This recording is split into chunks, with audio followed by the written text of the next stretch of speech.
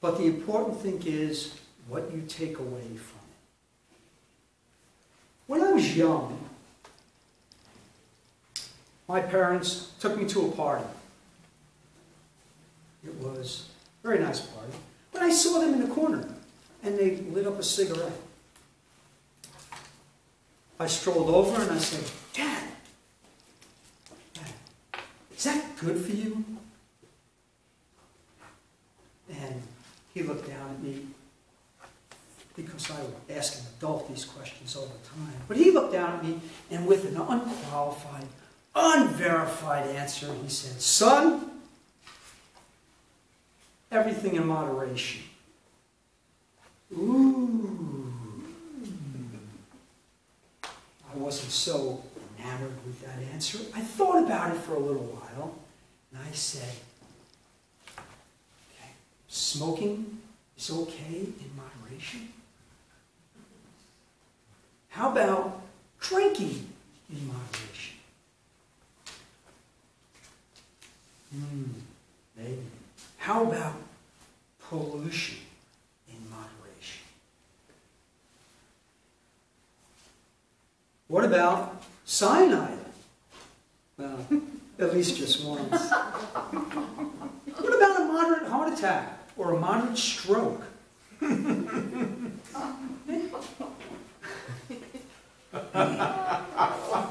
I suppose if you didn't look at the signs and you listened to the talking heads,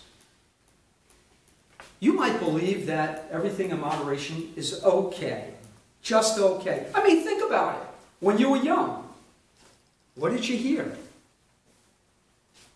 What did you hear? Everything. Cartoons. Gee, we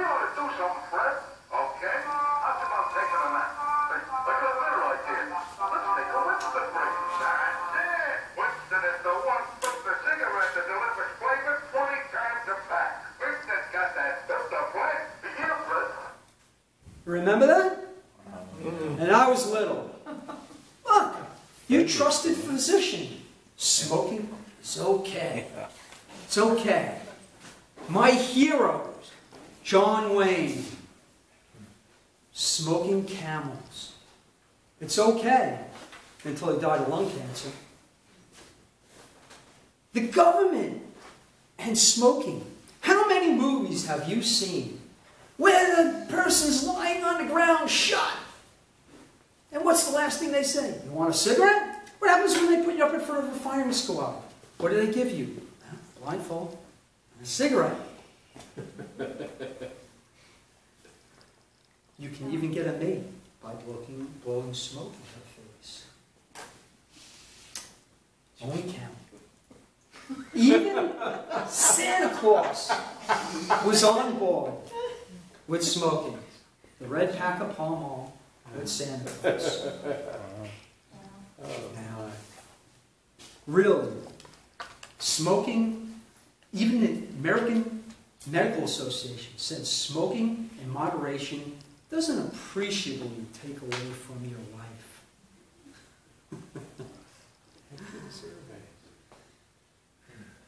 Now, if you didn't look at the signs, or even if you do look at the signs, you'll find out that, I mean, how do you really get away with this? But the science is saying, and the statistics are saying, that about 500,000 people in the United States die from smoking annually. 1.8 million people in Japan die from smoking. There's about 7 million people worldwide that will die from smoking. Okay?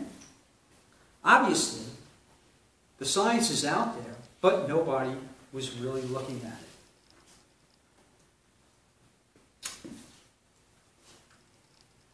There was evidence. There was evidence, but nobody took a look. How does the big tobacco company actually get away with this? Well, big tobacco used what we call doubt. Matter of fact, it was the corporation of doubt. As long as they were saying that in a face of mounting damning evidence, they just created doubt. And just a little bit of doubt was enough to keep people hooked.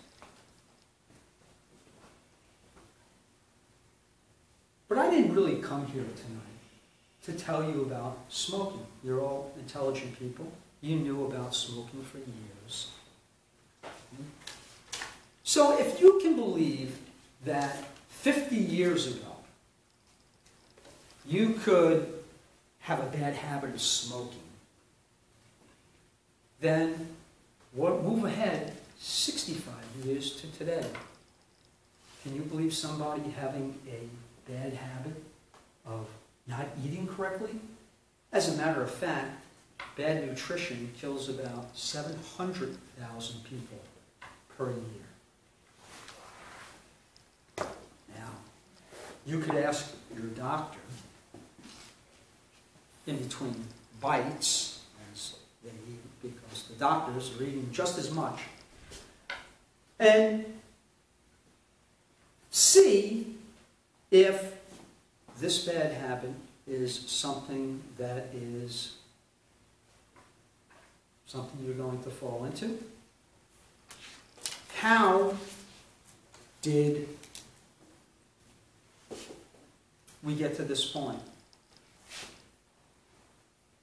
The same company that provided the information about smoking, the misinformation, the conflicting evidence, the hidden negative data, is the same company today that provides the same information for eating. Explain. Now, who funds Explain? Well, it's the Meatpackers union. It's the dairy. It's the poultry. It's the confection and sugar industries. That's who backs them. Now, there is a number of doctors that are out there that protest this. I love Dr. Kim Williams. He's the head of cardiology, College of Cardiology. And he goes, there's two types of cardiologists. The first is a vegan. And the second is those who don't read the data. So who do you want to work on you? Dr. Kim Williams also says, and I thought this was very nice, that I, I don't mind dying. I just don't want it to be my fault. So is there a way to change it? Now, I know all of you are going to say, hey, my dad had it. My mom had cardiovascular disease. It is in the genes. Well, here's something that you have to know. Genetics loads the gun. Lifestyle pulls the trigger. Uh, You may be perceptible. You may be, you may be able to get high cholesterol. However, if you don't eat those foods, you may never.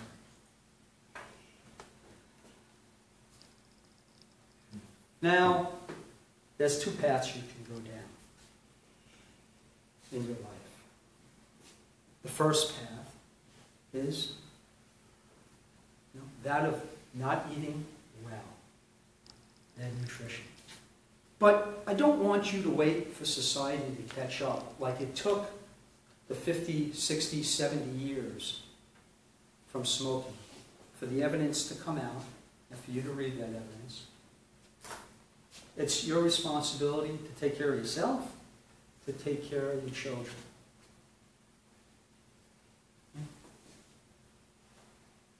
You may get to the point in life, and you're hopefully ripe, ripe old age,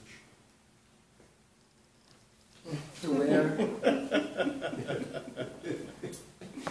to where you may pass. And here's the action I'm going to put in front of you. Here's what I want you to do. When you die, when you get up to those pearly gates, and St. Peter says, What took you so long to get here? I just want you to put on that something eating grin and smile and say, Something. fruits and vegetables. Mm.